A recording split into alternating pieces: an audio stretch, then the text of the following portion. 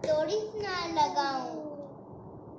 चलो उसमें मैं बताऊँगा अपने गाँव की स्टोरी सुनाऊँगा आप लोगों को। मेरी, ठीक है?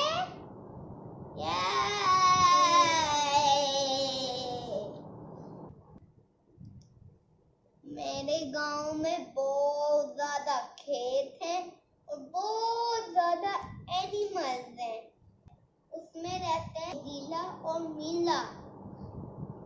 वो लोग बहुत ही पोसड़ है। वो काम ही नहीं करते। वो तो वो वो नहीं काम करते, वो बैड बॉयज़ है। वो जान लाते हैं, उनको पकाए, खा जाते हैं।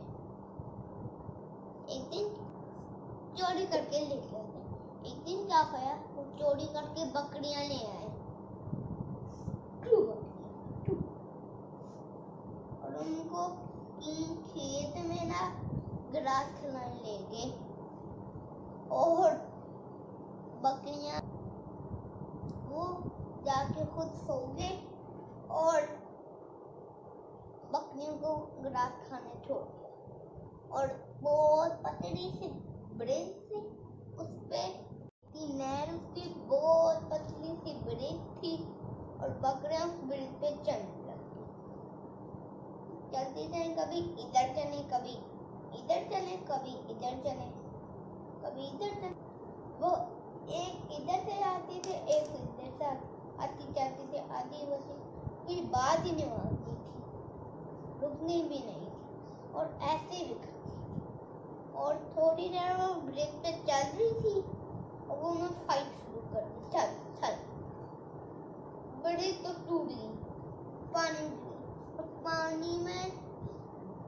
बकरियाँ गिर गई अच्छा वो पानी लेके बकरियाँ गिर गई उनकी और नीला और नीला की ना वो सोते रह गए और जो जो सोता रह जाता है ना, वो भूखा रह जाता है फिर, पीछे चल बाय मैं थोड़ी दोबारा सुनना, फिर किसने नेक्स्ट